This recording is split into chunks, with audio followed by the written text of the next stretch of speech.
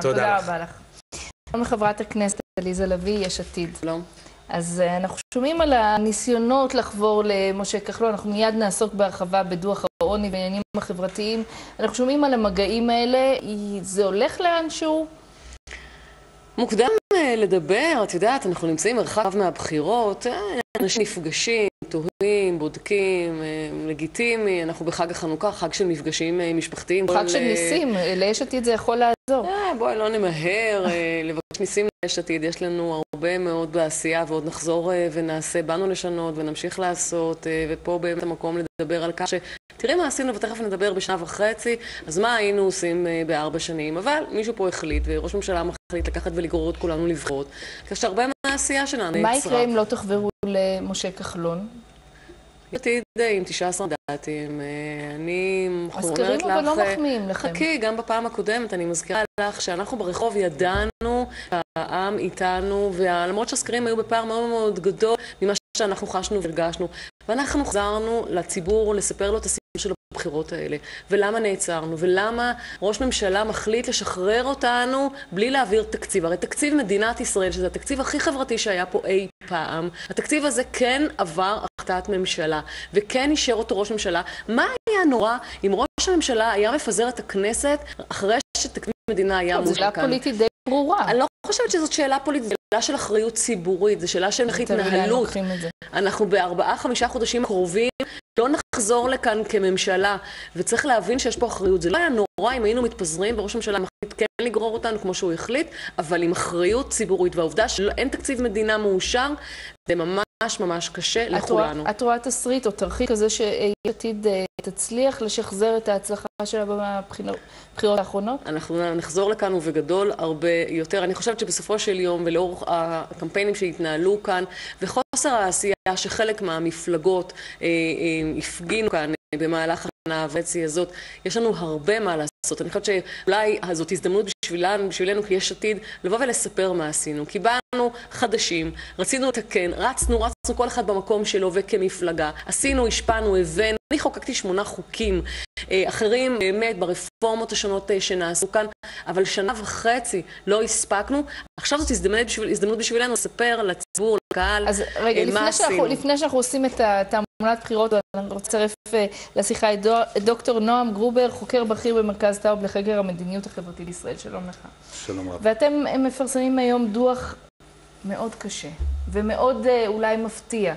80% מהציבור הישראלי לא מצליח לשלם את כל הוצאותיו בחודש.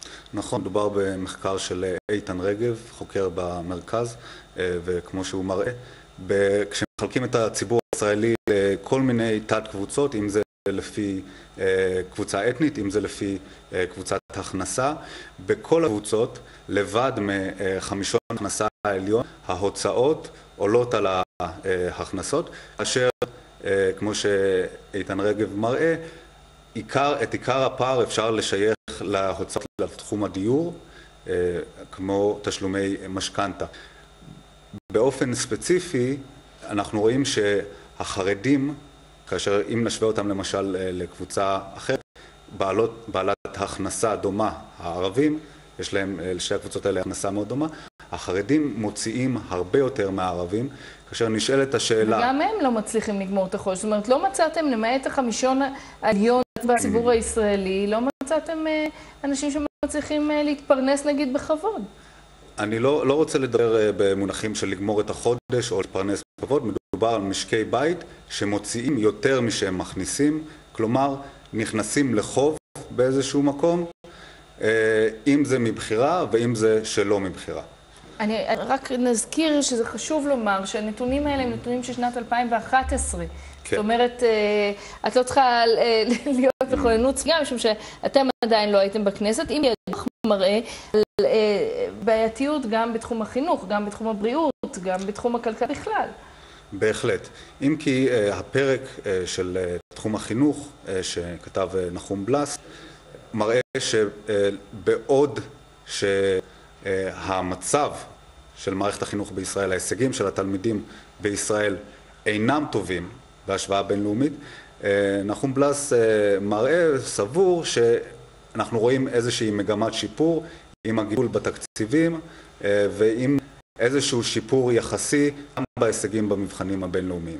כן, אבל ראינו גם בין השאר גם בעיה בצמצום, נגיד מספר הרופאים, צמצום הכספים כן. במערכת הבריאות.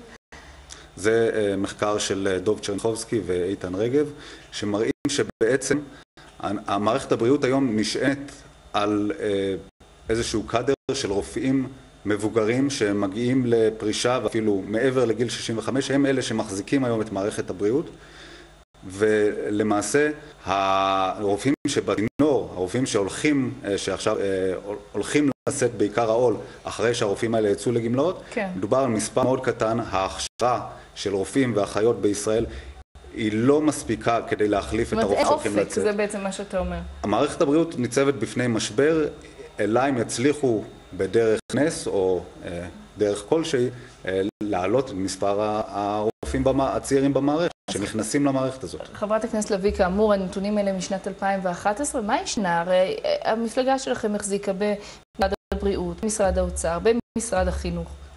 הנתונים האלה, בגללם באנו לפוליטיקה. אנחנו ישבנו בסמינרים שלנו כח"כים לפני שבכלל הצטרפנו למשחק הפוליטי, משום שבאנו מהכאב הזה, באנו מהפערים הללו, מהעוול הזה, ובאנו לדרך לשנות את כל מה שכרגע נאמר. אנחנו מכירים את הנתונים. אגב, אני ערכתי בוועדה כמה פעמים את מרכז טאו, בעל המחקרים שלו, בכל אותם פילוחים של ועדות שקידמתי אבל ועשיתי. אבל נדמה שהיום אין שינוי משמעותי. אבל תראי... מה קרה כאן. אנחנו קודם כל מדברים על הדוח הזה שמדבר על פחות 200 אלף אנשים עניים. זה עוד משפחה ועוד משפחה, וזה 200 אלף אנשים. אנחנו מדברים על תקציב חברתי, שאם הוא היה עובר, זה התקציב החברתי הראשון. אנחנו מדברים על פעם ראשונה ש-190 אלף קשישים אמורים היו לקבל סיוע. זה תוספת למשרד הרווחה. אנחנו מדברים כאן על נשים חד-הוריות שמקבלות תוספת. מעולם זה לא היה. אנחנו מדברים כאן על המתח הזה שנפתר בין נשים שמקבלות קצבה לבין היכולת שלהן להצטרף לעולם עבודה. אנחנו מדברים כאן על שוויון בנטל שפתח ואישרר לעוד קבוצות מהאנשים החרדים ומהאנשים החרדיות להצטרף לעולם העבודה. הרי אתה מדבר פה על קבוצות מובדלות, ואנחנו באים ומסייעים, שלא לדבר על אותם אנשים שאין להם את היכולת לצאת לעולם העבודה, וגם להם בתקציב הזה, בפעם הראשונה אנחנו נותנים כלים ויכולות ותקציב. אבל הכל נעצר. אז אני, וכש... מבינה, אני מבינה מה את אומרת. בעצם אתם תבואו לציבור הבוחרים ותגידו, אנחנו רצינו, אבל היה מי שעצר אותנו, ושנה וחצי זה לא מספיק לעשות שינוי, אבל אתמול מתפרסם דוח העוני, והוא מראה שהמצב גם לשנת 2013, כשכבר הייתם בממשלה וכבר הייתם בקואליציה, הוא לא כל כך הרבה יותר טוב. קודם כל יש לנו 200 אלף עניים פחות. בואו נלך רגע לדבר על זה. זה לא קרה בגלל אה, שמישהו פה לא עשה משהו, זה קרה בזכות אותו שינוי רק התחלנו להנביט. תחשבי, שנה וחצי, שנה וחצי. איך אפשר, את יודעת, הרעה החולה של מדינת ישראל, זה שב-66 שנות קיומה, יש לנו כאן 33 ממשלות. כל שנתיים בממוצע מתחלקת כאן ממשלה. איך אפשר להוביל תהליכי עומק? באנו, העברנו רפורמות, דיברת על אה, עולם בריאות. ביתי לומדת רפואה, אני יודעת בדיוק מה הדרך שמחכה לה. אבל הנה, באה שרת הבריאות לעבר ואומרת, אוקיי, אולי נקצר, אולי נעשה, התחילה להפעיל עוד תוכניות, נקל במבחני כניסה, אנחנו יודעים מה קורה לאותם סטודנטים, הילדים שלנו, שלומדים בהונגריה וברומניה ובמקומות אחרים, ולא מצליחים לעבור את בחינה בגלל כל מיני כשלים נוספים. איך נתמוך בהם, איך נסייע. הדברים האלה התחלנו לעבוד אותם בבריאות, ברווחה, במשרד החינוך. במשרד החינוך אני מזכירה לכם את לימודי הליבה, אני מזכירה לכם את כל מה שדיברנו על העניין של החינוך החרדי, את כל מה שהבאנו ושינינו. תראו מה נעשה בארבע שנים. תנו לנו את ההזדמנות, הרי מה זה המצע של יש עתיד? המצע של יש עתיד זה תקציב מדינת ישראל, שיאיר לפיד, ראש המפלגה שלי, סגן שר האוצר, שר האוצר לשעבר, מעביר, זה ה-DNA ליש עתיד. כן, זאת הראייה שלנו, אבל שחברה בישראל. אנחנו לא ניכנס עכשיו לפרטי הפרטים של התקציב הזה, משום שיש לו גם דברים כמו שאת ציינת, ויש שם גם נקודות שבהם גם כלכלנים עצמם יצאו נגד, כולל תוכנית הדגל של יש עתיד, זה אה, תוכנית מע"מ אפס. אז בואי רגע נדבר. זה לא רק עניין פוליטי. זה מה שאני אומרת. בוודאי שזה עניין פוליטי, מע"מ אפס, אנחנו נעצרנו בו בגלל עניין פוליטי, כי מישהו הבין שאולי כללי המשחק ישנו. שנים המשק כאן תקוע ומחירי הדיור עולים. אז אנחנו באים ומוצגת התוכנית של מע"מ אפס, שחבר הכנסת יאיר לפיד מציע ועומד דורש. אז כמו שיש כלכלנים נגדה, יש גם כאלה שבעדה. בואו ננסה, ראינו מה היה כאן בעשר השנים האחרונות. אבל... ראינו איך מחירי הדירות האמירו, ומי יכולים לקנות ומי אינם יכולים לקנות אה, דירה. אבל בפועל, המחירים, בפועל המחירים ממשיכים לעלות, ולא, ולא רואים שום אופק. וכל הטט, נגיד, שיש אותי, ניגשה איתו לבחירות הקודמות, על יוקר המחיה, יוקר המחיה נותר כשהיה.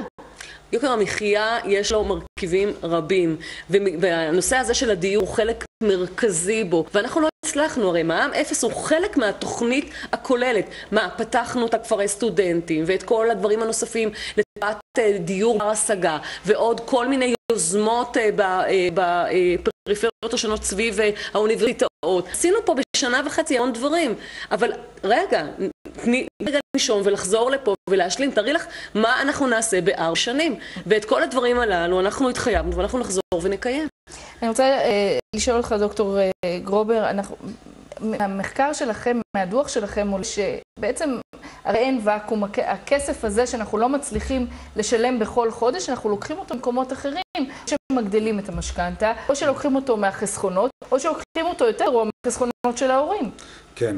אז אה, אם, אם קצת להתייחס למה שחברת הכנסת אה, לביא אמרה, אה, המחקר, המחקרים שלי שכלולים בדוח שלנו, אני עוסק בשוק הדיור באמת ובכלכלה השחורה ובהקשר של שוק הדיור ובשל תוכניות מע"מ אפס ומחיר מטרה וכו', אני נאלץ להסכים שלא מדובר פה בטיפול בשורשי הבעיה ובמדינת ישראל לוקח 13 שנים לבנות אה, בניין, 11 שנים מתוך זה אלה, זה בירוקרטיה, אלה נהלים. כשמשווים את זה לאירופה, למדינות האיחוד האירופי, שם תוך 8 עד 12 שבועות מקבלים אישור בנייה. מדובר על 1 חלקי 50. בישראל לוקח פי 50 יותר זמן לקבל אישור בנייה. אפס לא הייתה פותרת את הבעיה לשיטתך. לא, היא לא אה, מטפלת בצד ההיצע, היא לא מטפלת בבירוקרטיה ובניגודי האינטרסים העמוקים שחוסמים אישורי בנייה במדינת ישראל. במדינת ישראל, לרשויות מקומיות לא כדאי לקדם תוכניות בנייה. זה עולה להם יותר מאשר זה מכניס להם. הן צריכות להוציא הון תועפות על כן. תשתיות, אשר הארנונה אינה אינה מממנת את כן. זה, היטלי הבנייה לא מממנים את זה. אנחנו תכף ניתן לחברת הכנסת כן. לביא להגיב לדברים האלה, ואני רוצה עוד לפני שאנחנו נפרדים לשאול אותך מניסיונך. מחקר כן. דומה בעוד שנה או בעוד שנתיים, לשנה הזאת או על השנה שעברה, אנחנו נראה דברים אחרים באופן אה משמעותי? תוצאות אחרות? באיזה, באיזה תחום בדיוק? בעניין ההשתכרות, בעניין האפשרות אה, לעמוד בהוצאות מול הכנסות. קשה מאוד לומר היום. אה, שב, שאם לא יהיו אה, שינויים משמעותיים במבנה אה, המחירים במשק, ספציפית כן. בשוק הדיור, כן. עלויות של שכירות ושל משכנתה, שכיום לוקחות, לקחו בשנים האחרונות עוד חמישה אחוז מתוך ההכנסה הפנויה של משקי כן. הבית, קשה מאוד לומר שאם לא נראה שינויים בתחומים האלה, כן. אז uh, התמונה תהיה אחרת. דוקטור נועם גרובר, חוקר במרכז טאוב לחקר המדיניות החברתית בישראל. תודה רבה לך שבאת אלינו, ואני רוצה לתת לך להגיב, אמר אה, דוקטור גרובר, אם לא היה שינוי משמעותי בבירוקרטיה, בבניית נדל"ן, ואנחנו יודעים שזה לא אה, קרה, גם תוכנית מע"מ אפס לא הייתה פותרת את הבעיה. אנחנו צריכים לחזור עם יותר מנדטים, לקחת את מינהל מקרקעי ישראל ואת משרד השיכון וביחד לבוא ולפתור את הפלונטר הנוראי הזה אה, שקרוי אה, בכל הביורוקרטיה הזאת של שנים על גבי שנים והגיע הזמן לפשט הליכים. אולי את משרד השיכון? כן, משרד השיכון, אבל את מינהל מקרקעי ישראל צריך לבוא ובאמת לפרק פה דברים מה... אנחנו צריכים יותר מנדטים, אנחנו יוצאים חזרה לציבור, מבקשים את התמיכה שלו, נחזור לפה ונפרק את הקונגלומרט הוותיק הזה שבאמת הגיע הזמן אה, לפרק את כל הסרבול הבירוקרטי המיותר ונבנה בתים לכל הילדים של כולנו. חברת הכנסת עליזה לביא, יש אותי, תודה רבה לך. תודה, תודה. אה, עניין אה, נוסף היום, האיחוד האירופי החליט הבוקר שחמאס הוא לא טרור יותר, הוא הוצא מרשימת ארגוני הטרור. ההחלטה הזו מצטרפת למאמצים הגדולים שעושים